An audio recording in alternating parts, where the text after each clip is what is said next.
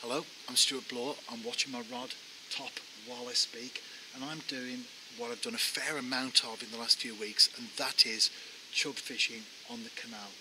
I think as an all-rounder, one of the things that you are very much aware of, particularly in the winter and in conditions like these, and I'll come to that in a moment, is that you tend to find yourself gravitating towards the fish that give you a chance of getting something on the bank. Not that you don't like a challenge, of course. I always love a challenge, but I find myself chub fishing in the winter, uh, crucian carp fishing in the summer, that sort of thing, tench fishing in the spring. You know the sort of thing that I'm talking about.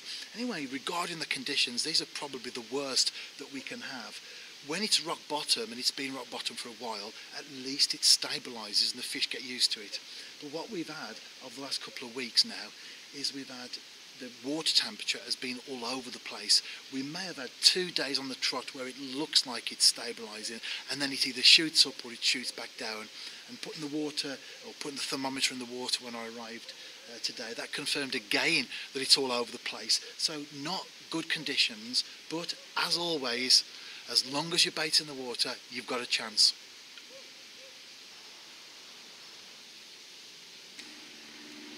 I've arrived late afternoon. I've only got three hours. I'm playing football tonight, fishing from three till six. But that's the thing with fishing. It's not so much the number of hours that you spend on the bank, but the time that you spend them. So in other words, particularly with the canal being quite clear at the moment, and today was a bright sunny day, although not warm, it was bright and sunny. Uh, conditions weren't ideal for the middle of the day, so you could fish six hours throughout the day and blank. And yet you can come for those three hours at dusk or dawn of course or even into dark. And you've got a much better chance of catching. So a lot of people you know say to me just in conversation you know we don't have a lot of time to to fish. And my reply is always that's fine because a lot of my sessions aren't all day long or three day sessions or three night sessions or whatever. Um, a lot of my sessions are just short and if you can keep them at the right time sweet as well as the sun's setting, I knew there were fish out there, lots of little plucks, and I've just caught this tiny, well, tiny roach, this small roach, when you consider that I'm fishing with a size 6 hook and a big chunk of bread. Think of canal roach fishing, particularly at this time of the year and in these conditions, and you're looking at 1.1 pound, 6 ounce uh, bottom or 12 ounce bottom hook length, uh, size 22 hook, size 24 hook even, and a tiny uh, bread punch or a, a, similar size bait. And there I am, catching one on a, on a size 6 and a, and a chunk of bread that big. Amazing, isn't it? Although I must admit, it did whittle that bread down a little bit first before it got the rest of it in its mouth. But they all count, and I'm not a blanker. You can't see me, of course, but you can hear me. And it's dark and I've just had a, a little bit of a pull round and I've got my first chub of the evening. And as you can see it on the screen that means I've netted it. And the words about the fish being on the screen of course were spoken in faith because at that time I hadn't actually netted it. And how close was it? Because the hook came out in the landing net. Anyway I'm just happy to be off the mark. Not a big fish but very welcome indeed I've got some bread uh, mixed with water, as you can see there, a little bit in the bottom. It's very, very sloppy. That will literally just break up into tiny pieces when it hits the water, and I'll, sh I'll show you that in a moment. And then to that, and later as well, I've only got a little bit of bread there. Don't want to overfeed the fish. I've got some uh, some lobworm ground bait. So that's my plan of attack this time. And of course, sticking to the, the bread on the hook, size 6 hook, all or nothing so to speak. Although, as you saw yesterday, I can still pick up small fish along the way as well.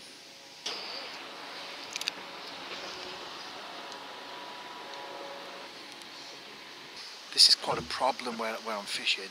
You can see there it's, uh, it's hooked quite a, a reasonable sized uh, branch. That's one of the things, isn't it, really? Where you fish in, often overhanging branches, that sort of thing. Of course, it means that uh, you get that sort of stuff beneath the water as well. Never mind, whenever it goes a bit quiet and I don't get the little plucks from the small fish because they are quite active today, I know that I'm probably hooked onto a branch, so I'll pull it in and cast out again. Like a boomerang, I'm back. I didn't catch anything on session two. I had lots and lots of uh, roach plucks, but of course with the size of the bait and the hook, I wasn't going to catch many. I did catch the, the one, of course, on, uh, my first outing, but that was a bit of a bit of a fluke, really. Anyway, I'm watching the rod top now. Although I've got a bite alarm, it isn't switched on. It's just as a, as a rod rest. This is a very visual sort of fishing, and I've been here about half an hour so far at first light. Put a bit of ground bait out, uh, some pieces of bread. The water temperature is up 0.8 Celsius overnight. We've had a very mild night and that's mainly down to the fact that the wind direction has changed, come from the southwest. It brought lots of rain as well. We had heavy rain overnight and the canal, it's like a grey colour where I am. It depends the terrain of course, where you're fishing. Sometimes it's an orangey colour, other times it's more of a soily, dirty colour. Here it's quite grey because all the water has uh, washed into the canal and it's caused it to go that particular colour where I am. But I'm getting a few little taps now from bream. So uh, if I do catch my first fish, unless a chub nips in, I've got a feeling it might be a bream.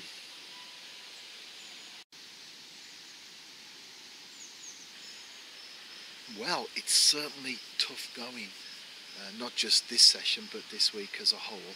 And of course, that's angling for you, isn't it? And certainly at this time of the year. I think if you're a blogger, you have to record the uh, the lows as well as the highs. If we give a false impression, we're deceiving ourselves, aren't we? If we're cutting out all the uh, the difficult sessions and only majoring on the good ones, but also as well for youngsters coming in or maybe novices as a whole, they they look at the stuff that we put out there, and uh, it may discourage them because they think, hang on, I went fishing and I had a, I had a couple of blanks. This guy catches a two pound roach, 10 pound barbel every time he goes out. Let's face it, it's not like that, is it? And without giving too much away, um, I do know people who, uh, who fit into that, uh, that, that category. They deliberately choose to ignore some of the, uh, the more difficult sessions that they have. And not only that, but they actually um, shall we say, exaggerate some of the uh, some of the good ones. And at the end of the day, all we're doing is fooling ourselves, isn't it? I may blank today. I've got a little bit more uh, time left. I may blank today. That'll be two on the trot if I do. But this morning I've been watching a male bullfinch.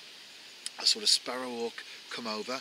I was watching a couple of missel thrushes, a little group of jackdaws going uh, wild at each other, and uh, above all, it's about enjoying it, isn't it? And catch or not, I always enjoy the sessions that I do. Hey, I'm into a fish. Good things come to those who wait.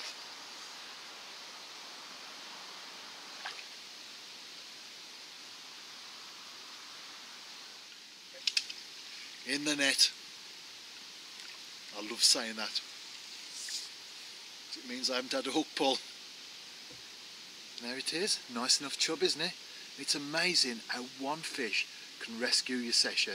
Anyway, I'm certainly happy with this. Well, I was a happy enough camper before. I'm just a happier one now after catching that fish. It just shows, doesn't it, as we often say in angling and we encourage one another with the words, you know, keep at it, keep persevering, stick at it, because you never know, you're only one split second away from your rod tip going round, your float disappearing or whatever, and you're into a fish. But you have to realise that it is uh, it is tough, as I've really stressed throughout this video at certain times of the year. And I think I'm going to call this blog entry "Tell It As It Is," because that's what it's all about, isn't it? You know, it's about recognising that it's not always plain sailing as far as angling is concerned. That we do have to battle on sometimes, but as I often find, the more I battle on, the more I think it through, the more I try and work it out and uh, get the better of the fish. I often do.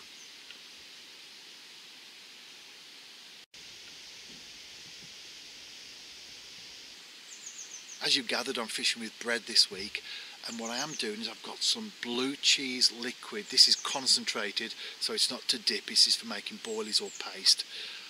I'm just laying a little bit, touch my uh, finger like so, and then I'm rubbing it in and I'm using that hand to take the bread to put on the hook, therefore giving the hook bait a slight edge over the rest of the bread that I'm throwing out. a lot of anglers are quite uh, sceptical, even cynical when it comes to dips and glugs. Now as far as I'm concerned, I am a fan. I do use them a lot as you no doubt aware if you follow my blogs on a regular basis. But the way I look at it is that they certainly don't do any harm, do they? If you are dipping your baits, it's not going to give you a, a negative effect. So even if, and I stress the even if, even if it only gives you confidence, say if it's all in the mind as some anglers believe, even if it only gives you confidence, then that surely is a good thing in itself. Because the more confident we are, I believe, the more comfortable we are with our fishing. And for example, you leave baits out longer because you know they're in the right spot, you know that it's the right bait, and you do fish better with confidence. So if it's just a confidence thing, then I think baits and uh, baits, uh, glugs and dips are, are a good idea. But as far as I'm concerned, I really do believe that they give us the edge. And it's times when it's very, very difficult, the going is definitely uh, tough, that it's that one bait that's been soaked or dipped or glugged that can sometimes make the difference.